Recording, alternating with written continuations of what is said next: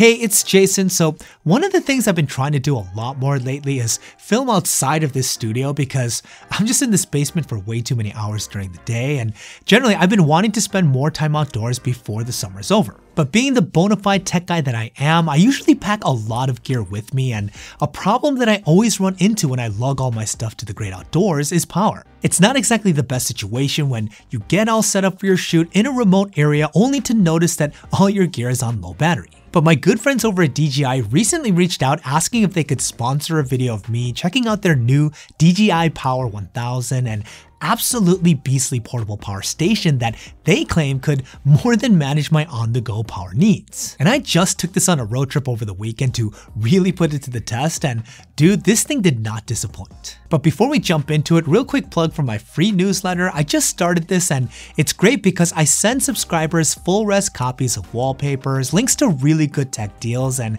random articles written by yours truly. It's totally free and I'm working really hard to make sure that it's actually value added to your life. Link to subscribe is in the description below. Okay, first let's talk about design and the features of the new DJI Power 1000 and I think something that's important here to talk about is the unit size. It's about the same dimensions of a small cooler and it weighs around 28 pounds so it's surprisingly easy to carry around. And the reason why this is important, you may think that bigger is better here but trust me, you want a power station that doesn't require like three people to lift up and move around, and you want one that will easily fit into a tight space, otherwise, trust me, you're never gonna use it. So what's great about the Power 1000, it easily fits into my trunk with a ton of space to spare, and I could easily get it onto a table or other surface all by myself with these nice integrated handles on both sides. And don't let the compact size fool you into thinking that it's not packing a lot of juice. The Power 1000 has a capacity of 1024 watt hours, which is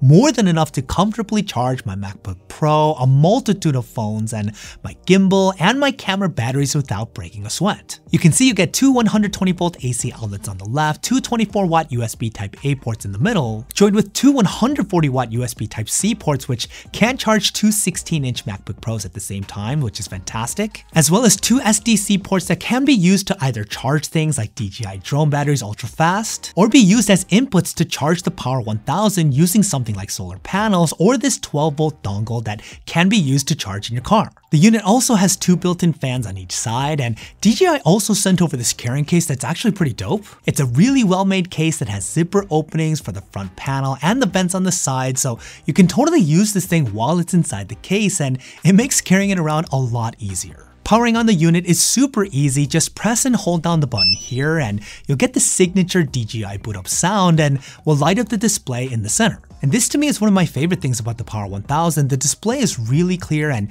easy to read, and it actually provides a lot of information like how much of a charge the unit has, and more importantly, how many watts it's either taking in or pumping out given its use case. This thing can pump out a steady 2200 watts of stable output, which is higher than the norm for a power station this size, and it can surge up to around 2600 watts for more power hungry appliances, and it can all be measured through this useful display. So I really wanted to put the Power 1000 to the test, so I actually brought it with me on my most recent road trip, and I should actually mention this, the SDC 12 volt car adapter came in pretty clutch because I did not charge the unit the night before, so it was super convenient being able to charge this thing in my car the entire way to our destination. And when we got there, I was able to comfortably charge my gimbal, my new Google Pixel 9 and my Pixel 9 Pro XL, my MacBook Air, and my Sony camera batteries like it was a walk in the park. But I really wanted to pressure test this thing, so I plugged in an electric stove to make some breakfast and you can see that the power draw was inching towards a thousand watts, but it was totally stable, no dips or spikes, and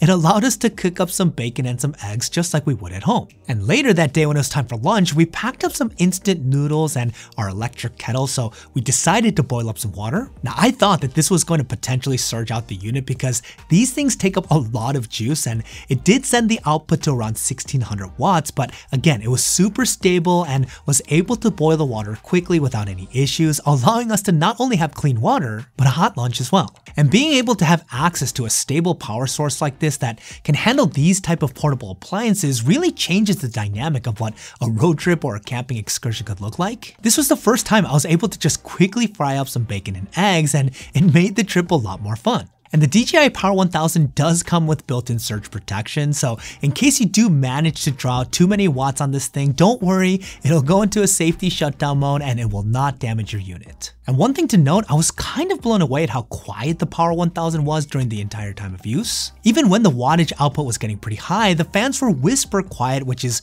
great because if you're doing an outdoor shoot and you need audio, loud fans blaring in the background is the absolute worst. The noise output on this guy is a mere 23 decibels, which is significantly less than the competition. And it's the same when you're charging the Power 1000, it's whisper quiet, which is kind of amazing because this thing can charge wicked fast. You can charge from 0 to 80% in a blazing fast 50 minutes, and it'll top off to 100% in around 70, which is so convenient. This allows you to plug this thing in on the morning of your shoot or your road trip while you're packing up the car, and by the time you're ready to go, it'll very likely be at 100%. Plus, as mentioned earlier, you can connect the solar panels to the Power 1000 with the right adapter, and it can accept up to 800 watts of solar power if you use both SDC slots for two 400 watt panels, which is great, especially if you're going to be in a remote area for extended periods of time. This is also a lithium iron phosphate or LFP battery pack, so you can charge up to 100% regularly without damaging the cells like you would a nickel-based battery, and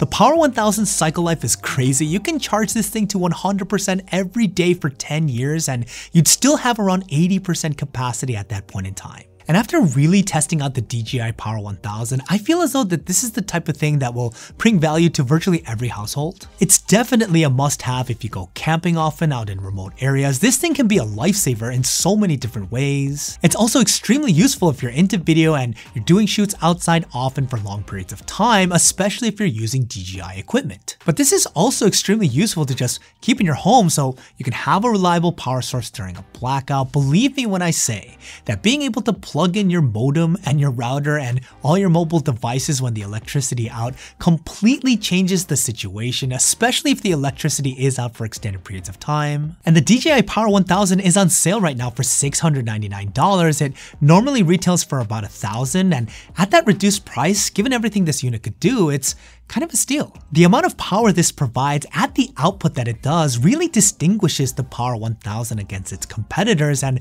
I really think DJI hit a home run here. If you guys want to learn more about the DJI Power 1000, I'm going to leave a link to it in the description below. And do me a favor and let me know what you guys think about this power station and DJI just getting into the space in general. I'm curious to get your thoughts. Let me know what you guys are thinking in the comments down below. And in case you guys missed my most recent reviews, check them out here. They're going to help you be as informed as possible.